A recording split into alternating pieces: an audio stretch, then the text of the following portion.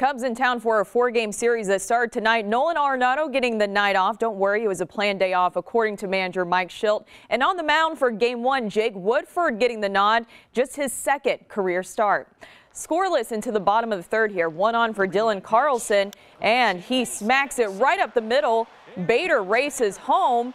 The throw to home is cut short, makes it one to nothing Cardinals. Things get wild here in the fourth. You got to watch this. Base is used for Paul DeJong at the plate. DeJong chops it to short, but Javier Baez can't grab it. Looks like he was going to try to make a play to third. Baez's error brings in a run, and it's 2-0 Cards. Next man up, Bader with the bases still loaded, grounds into a fielder's choice to short.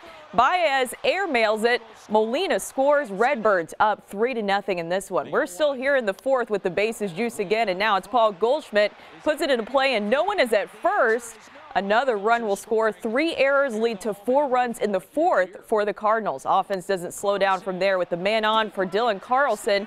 He launches it to deep right, and that stays fair. Two-run bomb makes it seven to one. Cards. And next man up, Goldie just stays hot at the plate with a solo bomb. He just launched that one. The Cardinals win eight to three, taking game one against the Cubs. The Redbirds are back at 500.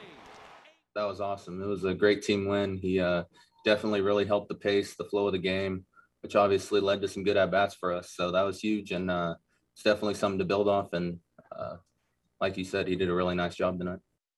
Well, the Cardinals wasting no time signing their top draft picks. Last week, they inked their first rounder, Michael McGreevy, and today they made things official with their second round pick, Joshua Baez. Baez, who's not related to the Cubs' Javier Baez, by the way, was selected by the Redbirds in the four, in the second round, 54th overall. The high school outfielder just turned 18 and stands at 6 foot 4 and 220 pounds. The Boston native made his first trip to Busch Stadium today, taking part in some BP, as you can see there, and officially signing for two and a quarter million dollars, according to MLB.com. He says that he plans to use some of that money to buy his mom a house. He will head to Jupiter tomorrow to start his career with the Cardinals.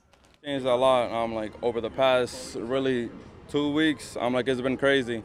Um, but now it's just time to play baseball. Like I would just, uh, you know, just love to be here within two to three years. Um, for, but for now, it's just about just um, just just getting better and just um, just continue to move up on in the levels.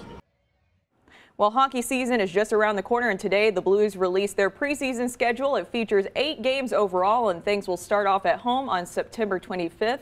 A lot of great games to look forward to, and a lot of stuff to look forward to on Wednesday because mm -hmm. that's the Seattle expansion draft. Mm. A lot of big changes coming to the Blues. That's for sure. It'll be interesting to see what happens there, and it's a good night when the Cardinals can beat the Cubs. Oh, yeah. All right. We love to see it. All right, that's going to do it for us here on News 4 at 10. So happy to have you with us tonight. News 4 this morning starts tomorrow at 4.30.